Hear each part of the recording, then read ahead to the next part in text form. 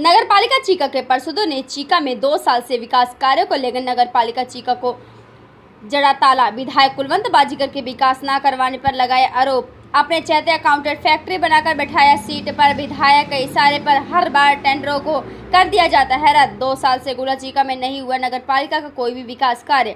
गुलाचीका Bhajpa chairperson समर्थीय पार्षदों ने भाजपा सरकार और विधायक के खिलाफ प्रदर्शन नारेबाजी की है। विधायक नगर पालिका चीका में जड़ा ताला। प्रदर्शन करने वाले भाजपा वरिष्ठ नेता, कार्यकर्ता शामिल। भाजपा विधायक कुलवंत बाजीगर पर लगाए विकास कार्यों को रोड अटकने का आरोप।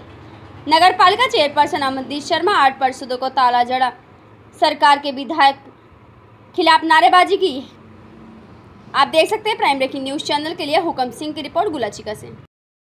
ताला लगा के बंद कर दिया किया गया और प्रदर्शन किया गया। क्या कारण है? ये था इनसे बातचीत करी तो इन्होंने बताया कि जी हमारे काफ़ी टाइम से काम नहीं हो रहे हैं नगर पालिका के। विकास के कार्य या और है, कोई टेंडर छूटना है तो सारे कार्य बिल्कुल बाधित पड़े हैं।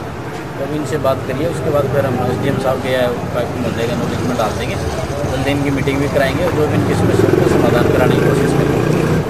मेरे को पता क्या है, क्या नहीं विधायक के ऊपर क्या आरोप लग रहे हैं।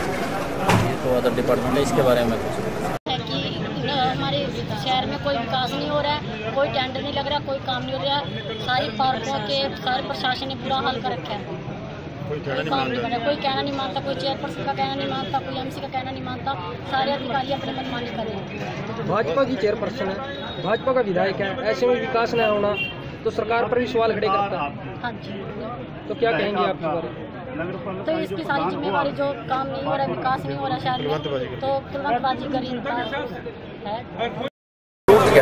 इसलिए आज हमारी नगर पालिका चेयरमैन अमनदीप शर्मा ने और वह सभी पार्षदों ने इस नगर पालिका कार्यालय को ताला लगा दिया। तालाबंदी, ये तालाबंदी जब तक चलेगी, जब तक विकास कार्य सुचारू रूप से नहीं चलाए जाते हैं, वो प्रशासन द्वारा चलाए जाएँ, एसडीएम द्वारा चलाएँ, डीसी द्वारा चलाएँ, जब तक हमको पूर्ण संतुष्टि नहीं होती है, अभी शहर का विकास दोबारा चल गया है, तब तक ये ताला नहीं खोला जाएगा। जैसे कि आप सबको पता है कि दो साल से शहर में विकास कार्य ठप पड़े हैं, लगभग ना के बराबर हुए हैं, जो कि शहर की भलाई के या विकास को देखते हुए जो भी विकास कार्य आज तक हमने करवाए हैं, बहुत ही जद्दोजहद के साथ करवा पाए हैं, जो भी आज तक विकास कार्य थोड़े बहुत हुए हैं। इतनी तादाद में विकास कार्य की प्रोसीडिंग्स में विकास कार्य पास हुए पड़े हैं, जो कि अधिकारी, कर्मचारी टेंडर नहीं लगाते और आगे की जो गति होती है, वो आगे नहीं बढ़ पाती। विकास कार्य की गति भी पड़ी है, बिल्कुल शहर में लगभग सारे विकास कार्य पड़े हैं, जिसके चलते हमने बहुत ही विकास करने के लिए हमने बहुत ही कदम उठाए, लेकिन हमें कोई नतीजा प्राप्त नहीं हुआ। इसके चलते आज हमने ना जाके भी नगर पालिका को ताला लगाना पड़ा।